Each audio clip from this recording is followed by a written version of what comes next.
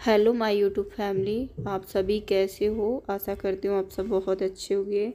So friends आप सबको good morning और मॉर्निंग हो चुका, और मैं सुबह ही सुबह अपने कामों में लग गई हूँ। तो सबसे पहले मैंने अपने गद्दे अद्दे उठा लिए हैं तो अपना बेड शार्प कर रही हूँ। बहुत डस्ट हो गया इस पर तो मैंने सारे गद्दे उठा के और उन पर उस पर बेड पे मतलब झाड़ू लगा रही हूँ।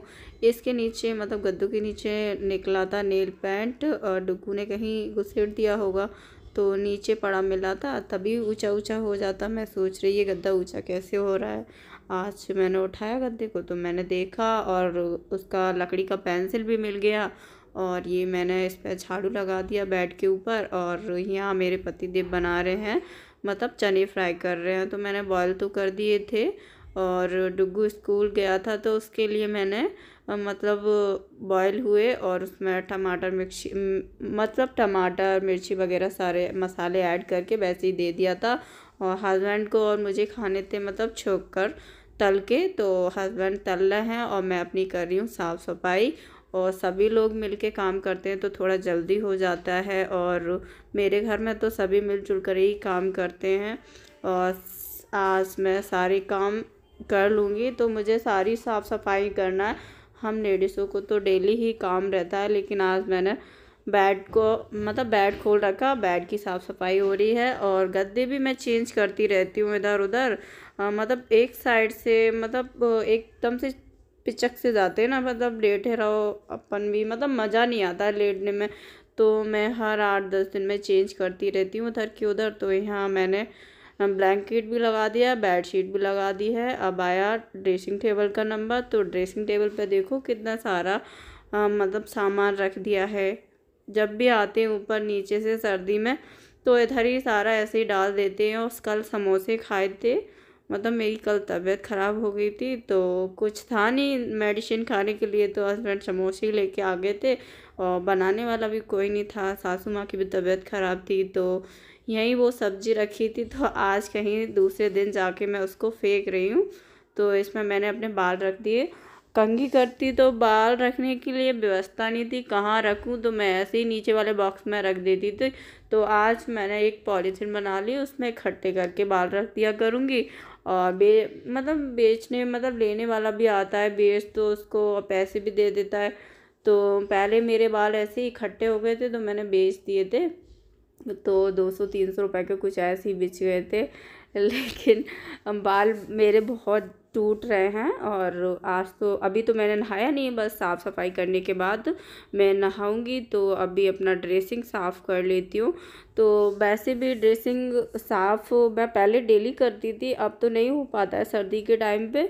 और ड्रेसिंग का कलर भी बहुत लाइट हो गया है, अजीब सा हो गया है, डेली साफ़ कर, करके गीला कपड़ा लगा देती हूँ ना तो उसका जो पॉलिश है वो हट गया है तो इसलिए अब मैं डेली पॉलिश इसको मतलब कपड़े से साफ़ नहीं करती हूँ। दो चार दिन, आठ दस दिन बाद मैं ड्रेसिंग साफ़ करती हूँ। तो सामान तो ड्रेसिंग में बाद में लगाऊँगी, सेट करूँगी। अभी तो फ़िलहाल डस्ट हटा दे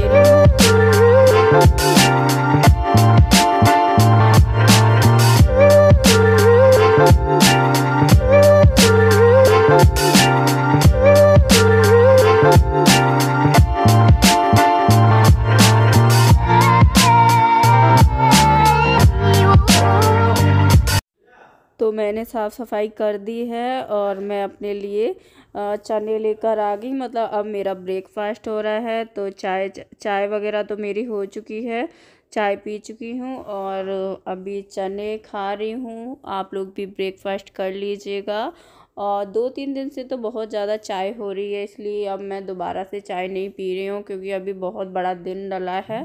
तो इतना चाय बन जाता है मतलब टू के जी दूध पूरा चाय में चला जाता है बहुत ज़्यादा चाय हो रहा है आजकल कोई ना कोई आ जाता है।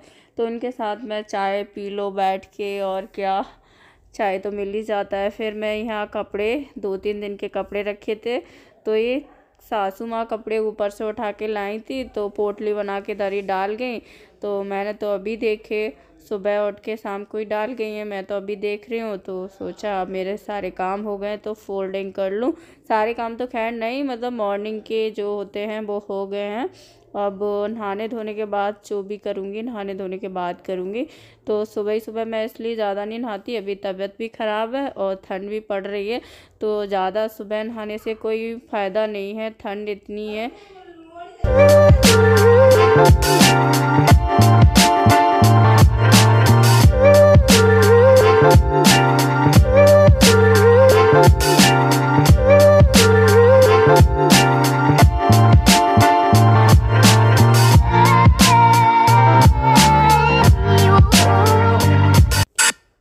सो फ्रेंड्स फाइनली मेरे कपड़े फोल्डिंग हो चुके हैं। बस थोड़े ही बचे हैं, वो भी होने ही वाले हैं तो मैं सारे कपड़े अलग अलग करके रख देती हूँ।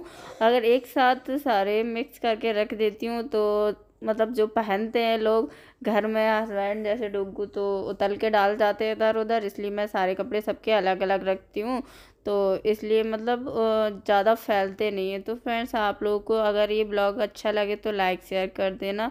आप लोगों को हर ब्लॉग अच्छे लगते उसी तरीके से ये भी ब्लॉग अच्छा लगे।